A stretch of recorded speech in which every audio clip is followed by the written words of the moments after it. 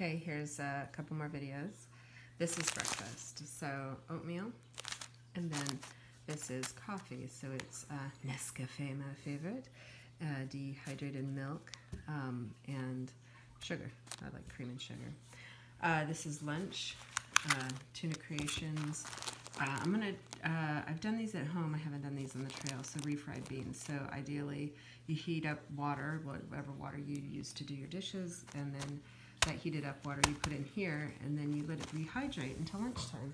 And then my dinners are these freeze dried. This is one serving, but usually they come in two and a half servings, and this is like five bucks. You add boiling water to it and you seal it up, and then you have a hot meal. Um, and then the usual granola bars. And then I have this mixture of peanut butter and uh, syrup right here. It's uh, you heat up the peanut butter enough to like funnel it in here. So I think that'll be another lunchtime meal. And then this is all my gear for camping. Uh, hammock, um, so ideally that'll work. And then my sleeping bag that's from the 70s. It's a Canadian down bag. It's not that fancy down tech or anything.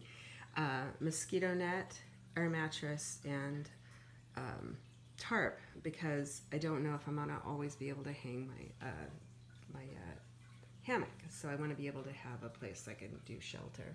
And then this is for bear hanging uh, food, and then um, and then just extra rope if I need to pitch a tent and make a tent out of the tarp. And then I have my 10 essentials, but I'll talk to you about that in another video because I got so excited I made how many videos.